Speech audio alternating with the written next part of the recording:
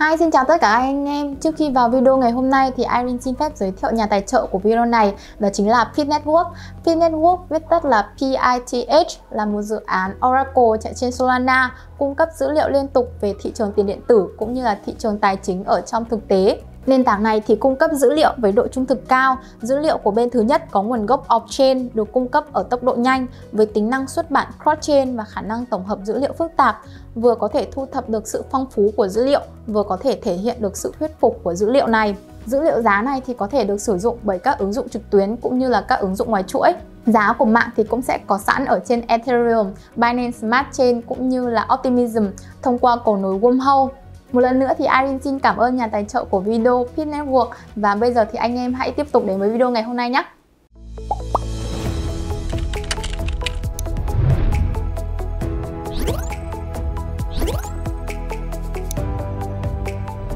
Rồi, à, xin chào anh em, mình lại là mình đây, mình là Minh Khang đến từ kênh số 8 Thì à, cũng như thường lệ mà thôi, tầm khoảng giữa tuần thì mình sẽ cập nhật cho anh em những cái diễn biến à, đang xảy ra trên thị trường. Uh, trước khi tiến đến nội dung thì cũng uh, xin anh em thông cảm vì giọng hôm nay của mình không được khỏe. Nên uh, nó cũng không có cái giọng của mình nó cũng không như thường ngày. Nên là anh em nào mà nghe không kỹ hoặc là có chỗ nào mà anh em không hiểu thì anh em có thể comment ở dưới video. Mình sẽ trả lời cho anh em nha.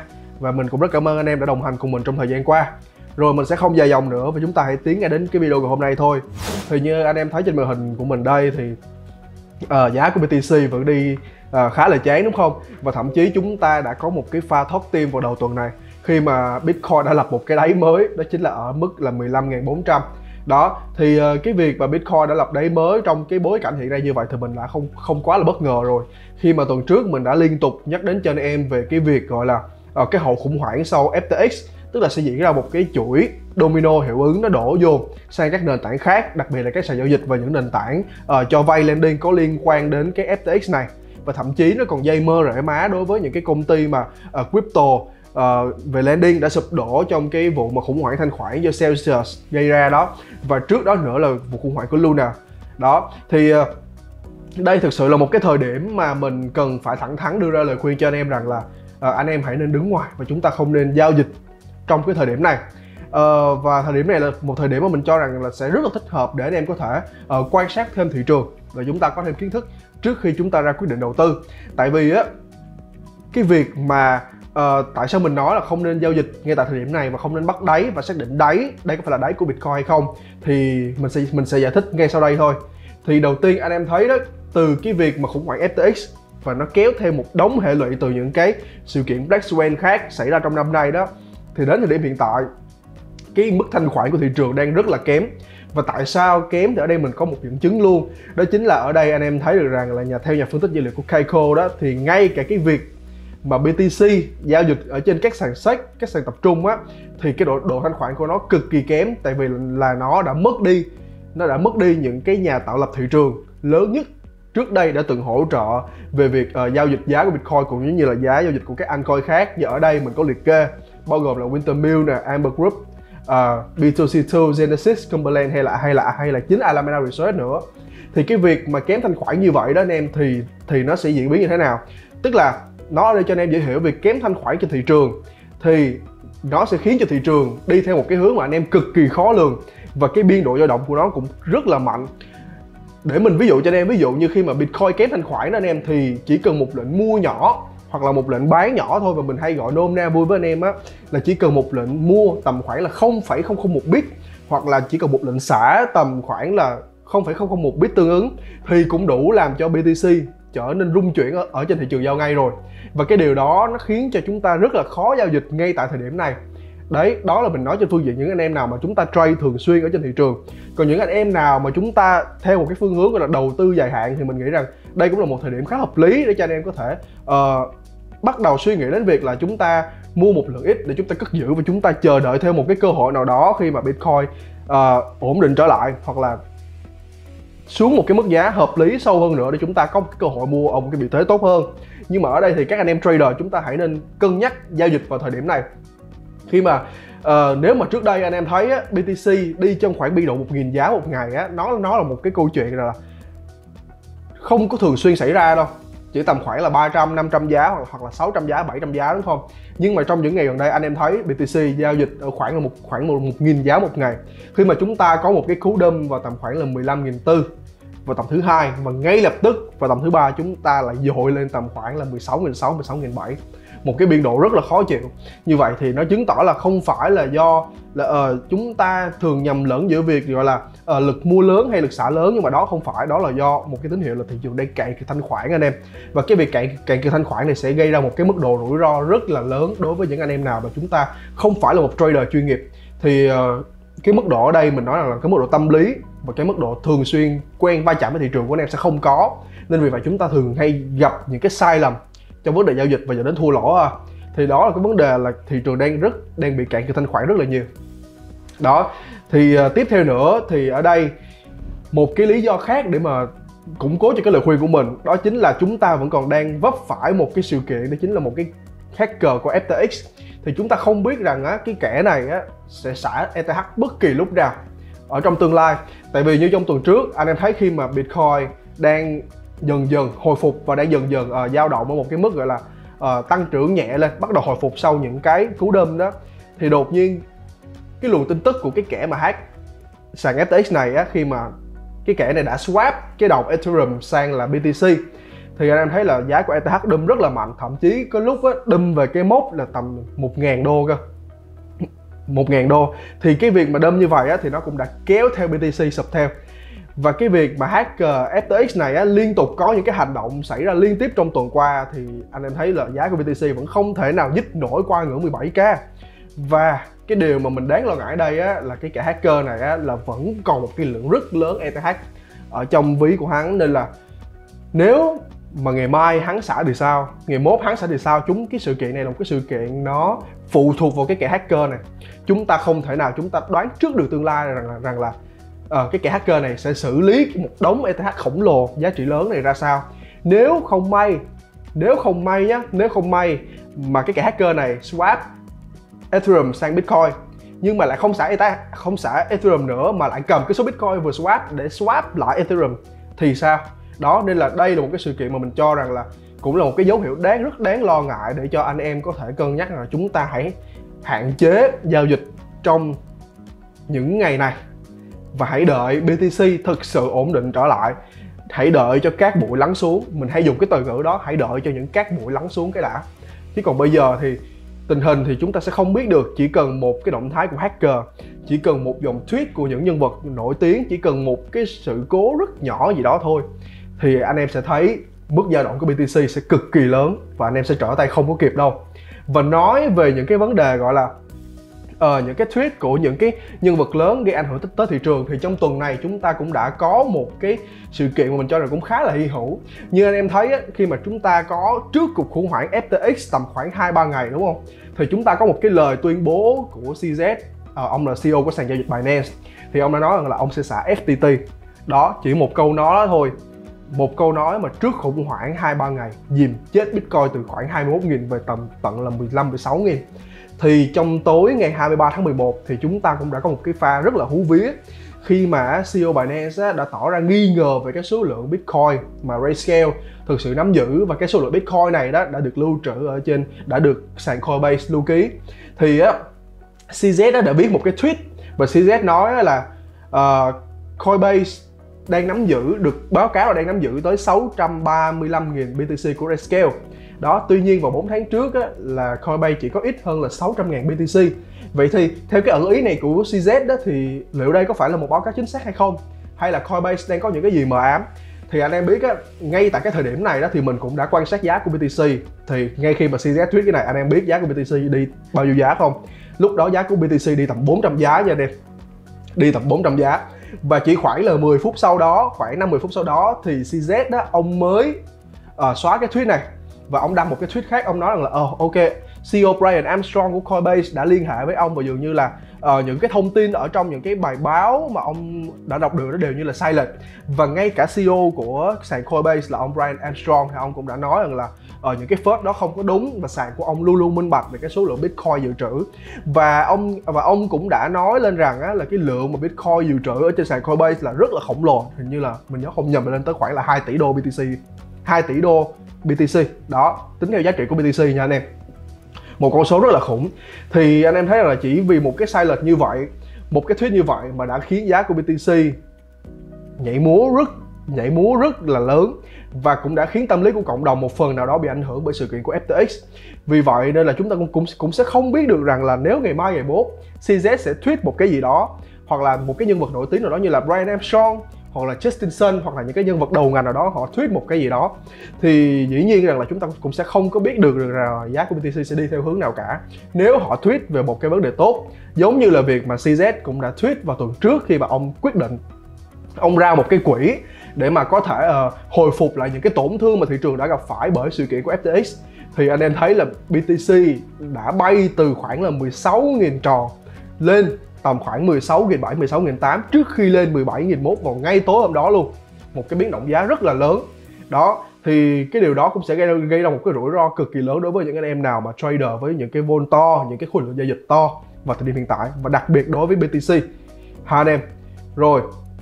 Và tiếp theo nữa thì chúng ta cũng đã có một cái sự kiện cũng cực kỳ tiềm tàng ở trong tuần này. Một cái sự kiện mà mình cho rằng là uh, đã thu hút được nhiều cái sự quan tâm nhất hậu cái cuộc khủng hoảng FTX đó chính là Genesis Trading. Thì dành cho anh em nào chưa biết á, thì Genesis Trading là một cái công ty về mảng cho vay crypto cũng khá là lớn ở, ở trên thị trường. Thì uh, vào tuần trước rồi thì mình cũng đã cũng đã đưa tin về Genesis Trading rồi. Thì cái công ty này đó thì họ đã tạm ngừng rút tiền của khách hàng. Nhưng mà cái hệ lụy mà Genesis Trading đang để lại cái hoài nghi trong cộng đồng là gì? Tại vì Genesis Trading là một công ty con của Digital Currency Group và Digital Currency Group này á lại là công ty mẹ của Grayscale thì anh em biết Grayscale là một cái quỹ đầu tư tiền mã hóa gần như là lớn nhất thế giới và cũng cũng một cái tờ báo crypto cũng khá là lớn trên thế giới đó chính là uh, Coindex đó thì uh, sau khi đã có đã có nhiều cái tin đồn rằng là uh, Genesis Trading đang đứng trước một cái nguy cơ gọi là vỡ nợ và huy động 1 tỷ đô la tiền bạc trước khi ra cái quyết định rằng là họ sẽ tạm ngừng rút tiền. Vậy thì cái câu hỏi đặt ra là rằng là trước khi họ ra quyết định tạm ngừng rút tiền đối với khách hàng, thì họ lại huy động 1 tỷ đô la tiền mặt. Như vậy, nó càng củng cố cho một cái bằng chứng rằng là Genesis Trading thực sự có vấn đề. Đó, thực sự có vấn đề nha anh em. Và theo cá nhân của mình thì họ cũng đang có vấn đề. Tại vì đối với vụ Luna, ban đầu họ nói là họ không có bất cứ tiếp xúc nào đối với Luna. Đó, nhưng mà sau đó cũng lòi ra một số cái bằng chứng là họ cũng có. Và đối với vụ của Three Arrow Capital thì họ cũng nói là họ không có bất cứ một cái bằng, họ không có bất cứ một cái tiếp xúc nào đối với quỹ 3AC nhưng mà sau đó họ lại công bố là họ đã bị lỗ rất nhiều và họ đã sa thải luôn CEO của Genesis Trading vào thời điểm đó luôn. Và bây giờ, đối với cái cuộc khủng hoảng của FTX thì Genesis Trading ban đầu cũng nói là không có tiếp xúc. Nhưng mà bây giờ cũng đã lòi ra một số các bằng chứng là họ cũng đã có tiếp xúc rồi.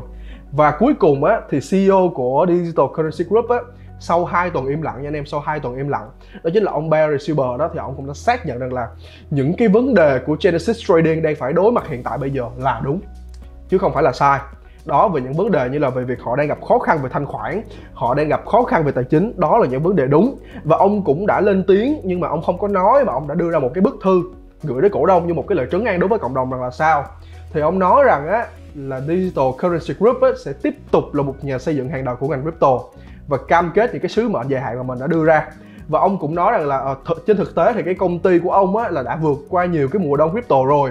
Và cái mùa đông crypto này không phải là một trường hợp ngoại lệ, nên các nhà đầu tư hãy tin tưởng vào đi, vào DCG vào thời điểm hiện tại đi.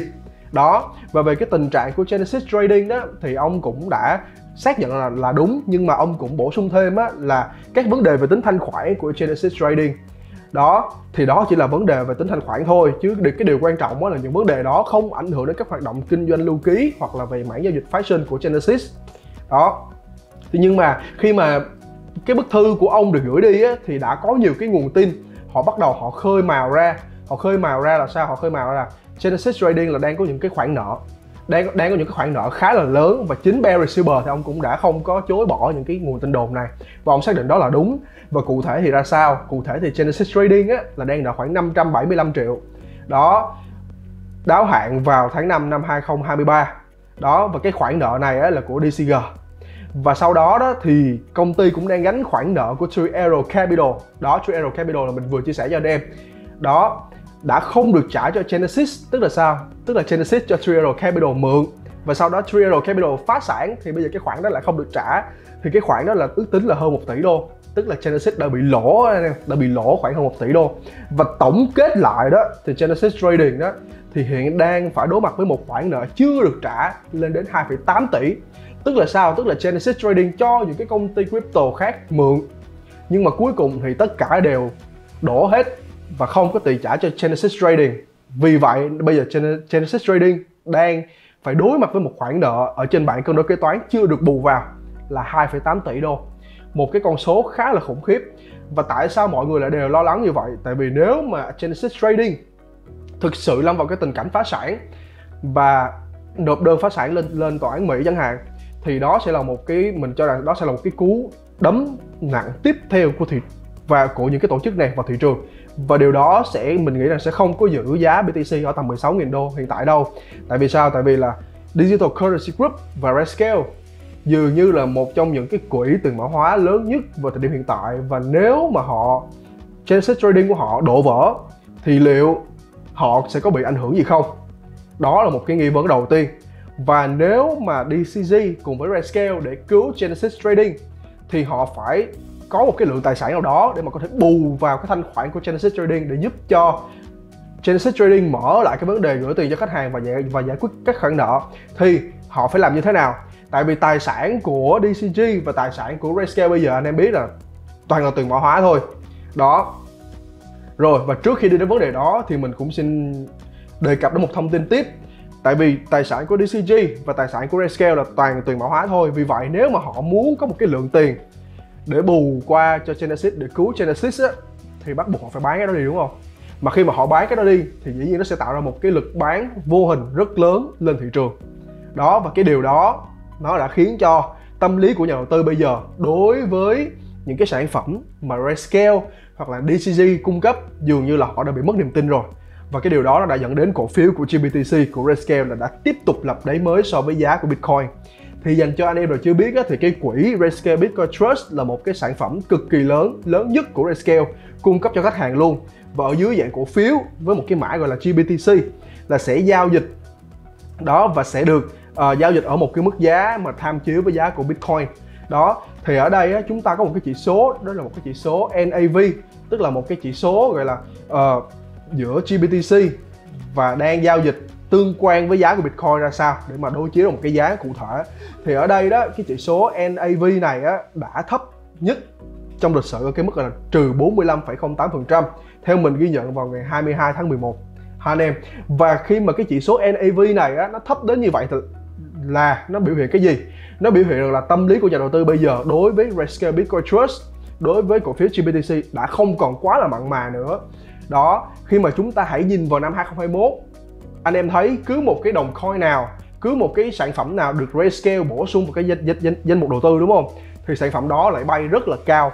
Và đặc biệt đối với những cái sự kiện mà unlock GBTC của Grayscale nữa thì cái chỉ số NAV này của Grayscale á thì đã liên tục ở trên một cái mức gọi là 50% và đỉnh điểm của nó là là, là 50% luôn.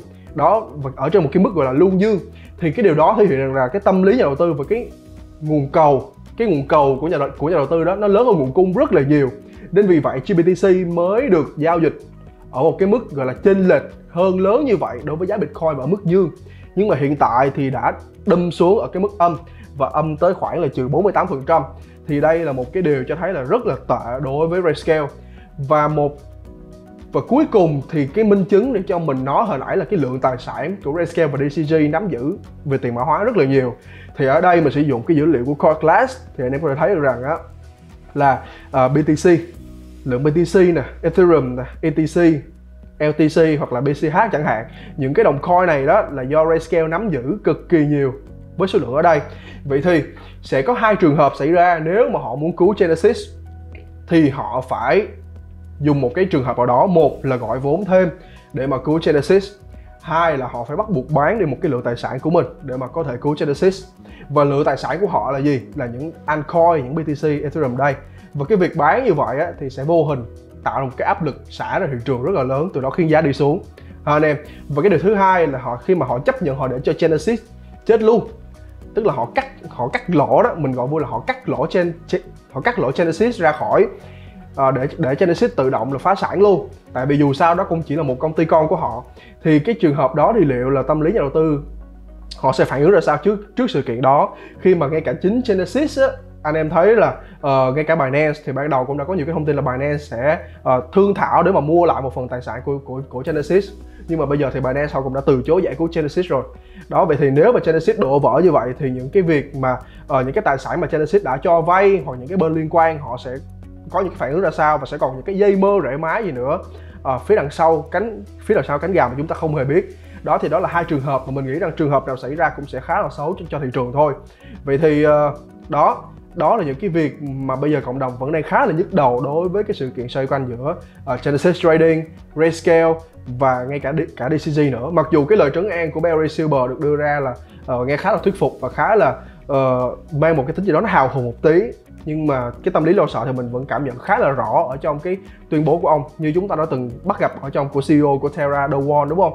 Chúng ta từng bắt gặp bởi Suyu của 3AC, chúng ta và mới nhất chúng ta bắt gặp bởi Sam Backman Backman Free của FTX đó anh em. Rồi và một cái thông tin mà trước khi đi đến một những cái chỉ số mà mình muốn nói cho anh em tức là về Fed thì ngày hôm qua thì chúng ta đã có một cái thông tin vĩ mô khá khá là quan trọng đó chính là uh, về Fed trong một cái biên bản họp FOMC đó thì Fed cũng đã uh, có nói một cái khả năng là sẽ giảm tốc độ tăng lãi suất nha anh em. Thì ở đây thì mình cảm thấy rằng anh em cũng hơi cũng hơi bị nhầm lẫn giữa việc gọi là giảm lãi suất và giảm tốc độ tăng lãi suất. Thì ở cái đợt FMOC này á F, FOMC này thì Fed chỉ nói là giảm tốc độ tăng lãi suất chứ không phải là giảm lãi suất ha anh em. Tức là vẫn tăng lãi nhưng mà giảm tốc độ lại thì đây cũng là một cái tín hiệu cho rằng là uh, Fed đã phần nào đó đã cảm thấy được cái nỗi đau của, của, của, của thị trường cũng khá là lớn. Và cái vấn đề lạm phát cũng đã dần dần cũng đã được hạ nhiệt bớt rồi. Nên bây giờ họ sẽ giảm lại cái tốc độ tăng lãi suất của họ. Và điều này nó đã uh, mang lại một cái làn gió cũng khá là tích cực đối với thị trường sau một loạt những chuỗi ngày mà Fed liên tục có có những cái thái độ diều hâu khi mà tăng lãi suất bằng tay liên tiếp như vậy. Đó thì uh, ngày hôm qua anh em cũng thấy là vàng cũng tăng uh, stock chứng khoán cũng tăng và BTC cũng tăng đó nhưng mà BTC thì uh, tăng một cách nó rất là trong hoài nghi và nó không có nhiều. Đó vì vậy á, nên mình cho rằng là uh, cái việc mà bây giờ Fed những cái tin, tin tức vĩ mô quan trọng như thế này nếu mà trước đây nếu mà trước đây trước cái sự kiện FTX á, thì đây sẽ là một cái tín hiệu vô cùng tích cực đối với crypto. Và chúng ta có quyền hy vọng rằng là uh, thị trường của, của, của, của chúng ta sẽ hồi phục một cách mạnh mẽ hơn. Nhưng mà đối với thời điểm hiện tại thì riêng cá nhân mình mình nhìn vào mình cảm thấy rất là no hope luôn đó, mình mình phải nói một cái thẳng thắn như vậy mình cảm thấy rất rất là no hốt. Tại vì á, chúng ta đã bị ảnh hưởng bởi cái khủng hoảng, cái hậu quả của FTX để lại quá nhiều anh em, để lại rất rất là nặng nề rồi. Tiếp theo nữa, chúng ta đang phải đối mặt với những cái di chứng, những cái di chứng của FTX đó chính là, đó chính là ai? Đó chính là Rayscale đó chính là Genesis Trading, đó chính là DCG và mình không biết sẽ còn có những cái công ty nào nữa. Đó chính là di chứng mà em, mà FTX đang để lại tức là một cái lỗ hổng nó ngày càng nó càng khoét ra khoét ra khoét ra đến đến mức không còn chỗ nào để khoét nữa. Thì đó mới chính là cái điểm mà mình cho rằng là cái điểm chốt để cho crypto có thể quay đầu trở lại. Đó và hiện tại thì chúng ta vẫn đang ở, ở, ở trong cái lỗ hổng đó thôi. Chứ ở đây mình không có nói rằng là mình mình không có an ủi anh em và cũng không có kỳ vọng quá nhiều vào thị trường vào thời điểm này. Đó tại vì ngay cả một cái tin tức vĩ mô như thế này nó quan trọng như thế này mà anh em thấy crypto vẫn không phản ứng.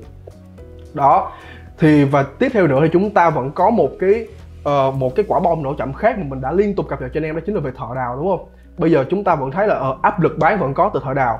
Chúng ta thấy tình trạng tồi tệ vẫn có từ họ nhưng mà hành động thì chưa. Và giả sử có một cái hành động nào đó một ngày nào đó một cái hành động từ thợ đào ồ ạt xảy ra thì lúc đó chúng ta sẽ ra sao nữa? Thì đó là những điều mà anh em anh, anh em cần phải cẩn trọng. Và nó có sách mắt có chứng. Khi mà Fed đưa ra một cái tín hiệu là sẽ uh, khả năng cao sẽ giảm tốc độ tốc độ tăng lãi suất. Thì anh em thấy vào ngày hôm qua chúng ta có những những những cái chỉ số chứng khoán của Mỹ rất là quan trọng như Dow Jones như là SPX hay hay là Nasdaq thì tăng khá là mạnh. Và ở đây á cái này là mức tăng ngày hôm qua thôi nên nên, nên, nên anh em thấy nó chỉ ở không phẩy mấy phần trăm không phẩy mấy phần trăm như vậy thôi. Nhưng mà những cái con số này là những những cái con số không biết nói dối. Nếu mà anh em là đồng hành cùng mình ở tầm khoảng tháng 8 tháng 9 tháng 10 mình đã đề cập rất kỹ mình đã, mình đã theo dõi rất kỹ về cái chỉ số chứng khoán của Mỹ. Khi mà uh, vào những vào 3 tháng đó anh em thì chúng ta có SPX và Nasdaq dường như là ở mức đáy của tháng 6 khi mà liên tục lao dốc cứ ngày nào mở phiên là lao dốc. Và lao dốc cực kỳ nặng nề khi mà SPX đã có lúc mà thủng tới cái mức gọi là 3.600 và Nasdaq đã đã đã có lúc mà thủng tới cái mức 10.000 gần chạm mốc 10.000 cơ. Nhưng mà bây giờ sau những cái cú đâm như vậy thì thị trường chứng khoán Mỹ bây giờ lại rất là rất là mạnh khỏe. Và dường như đã lấy lại tất cả những cái cú giảm trước đó trong vòng 3 tháng. Và cái cú tăng trưởng này đó thị trường chứng khoán Mỹ đã lấy lại tất cả những gì đã mất trong 3 tháng, chỉ trong 2 tuần nha anh em, chỉ trong 2 tuần. Đó, và thường á, những cái sự mà đi đồng pha giữa Bitcoin và thị trường chứng chứng khoán Mỹ chúng ta đã quan sát khá là kỹ, đúng không? Đó 3 tháng đó thị trường chứng khoán Mỹ lao dốc và Bitcoin cũng lao dốc luôn. Và những ngày nào á, mà thị trường chứng khoán Mỹ tăng trưởng thì Bitcoin cũng sẽ tăng trưởng theo. Nhưng mà bây giờ anh em thấy đó vàng cũng tăng sau cái tin của Fed. Thị trường chứng khoán Mỹ cũng tăng và thậm chí tăng vượt trội luôn. Trong hai tuần gần đây tăng rất là vượt trội. Đó và cái tín hiệu của Fed càng làm càng làm củng cố thêm đà tăng của chứng khoán Mỹ thôi. Nhưng mà bây giờ Bitcoin vẫn vẫn không có một chút hy vọng nào. Thì cái điều đó cũng đủ cảm thấy là thị trường của chúng ta đang yếu ớt đến mức nào. Và chỉ cần một cái điều gì đó xảy ra hậu khủng hoảng STX như như những gì mình đã trình bày. Có thể đến từ thợ đào có thể đến từ những cái di chứng để lại có thể đến từ một cái tweet nào đó của những người nổi tiếng thì chắc chắn rằng với cái mức thanh khoản cạn kiệt và với cái sự cái sự yếu kém và cái sự mông lung bây giờ thì crypto sẽ đi về đâu? Đó và cái mức đấy thì liệu chúng ta có đủ tỉnh táo để mà biết biết được rằng á, là liệu đây đây 16k, 15k, 14k liệu đây có phải là đáy của Bitcoin hay chưa? Đó. Và tiếp theo nữa thì à, ở đây mình cũng cũng có một cái biểu đồ khác trước khi kết thúc cái video này. Đó chính là biểu đồ của DXY thì thường thường á khi mà nhắc đến chứng khoán Mỹ khi mà nhắc đến Bitcoin thì chúng ta vẫn không bỏ quên được được, được DXY đây là chỉ số sức mạnh của đồng đô la. Đó anh em. Đó thì đó là cái lý do tại sao mà mình nói rằng đó là tháng 9, tháng 8, tháng 9, tháng 10 thị trường chứng khoán Mỹ lao dốc rất là ghê gớm. Đó chính là một cái sự tăng trưởng cực kỳ kinh khủng của đồng đô la đó và và ngay bây giờ đây anh anh em thấy bắt đầu từ tháng đầu tháng 11 khi mà sức mạnh của đồng đô la đã chỉnh rất là mạnh và bây giờ đang ở đang ở một cái chỉ số là 105,9 nó nó lao dốc cực kỳ mạnh so với một cái mức đỉnh là 114 ấy thế mà bây giờ chúng ta có chứng khoán Mỹ tăng chúng ta có đồng đô la giảm chúng ta có vàng tăng nhưng mà Bitcoin vẫn như vậy. Tức là Bitcoin đã có tất cả những cái điều kiện để mà có thể tăng trưởng trở lại để mà hồi phục trở lại nhưng cuối cùng thì câu trả lời vẫn là không đó thì đó cũng là một cái điều để mà cho anh em biết rằng là chúng ta đang ở, đang ở giai đoạn nào để mà anh em cẩn trọng trong vấn đề giao dịch nhiều hơn. Rồi uh, video đến đây là hết rồi và mình cảm ơn anh em đã đồng hành cùng mình ha. Hẹn gặp anh em ở tuần sau. Bye bye.